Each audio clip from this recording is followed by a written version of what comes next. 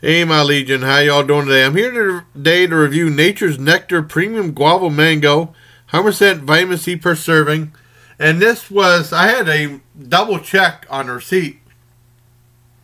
$1.29 from Aldi's. If I knew that, I would have gotten some more. I wasn't really paying attention when I picked it up. Uh, but then you think of it like, I mean, load up on something and then it, it doesn't taste very good. So you never know. Because I've had a guava, uh, mango guava nectar before and it's usually pretty good. But I just got one of these. So $1.29, that's not bad at all.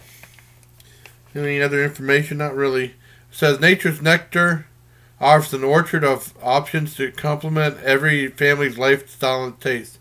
Saying 5% juice. Got the thing right here in a little tab you take off. I already shook it up. Give it a taste.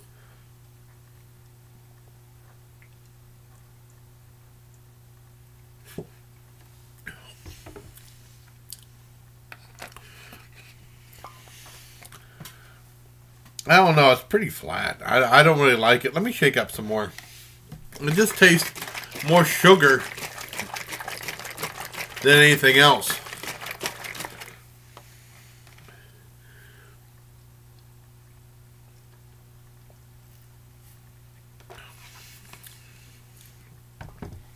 I taste the guava somewhat in, the mango, but I've had other uh, mango guava things much better than this.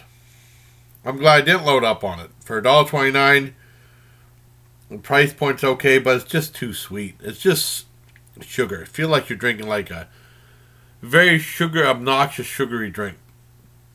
So I give a yeah, a three out of ten for Na Nature's Nectar Premium Guava Mango. Not very good. $1.29 is a good deal, but boy, I'm sure glad I didn't load up on it. That's why you gotta be careful. I mean, because I did a whole bunch of stuff from Aldi's. Uh,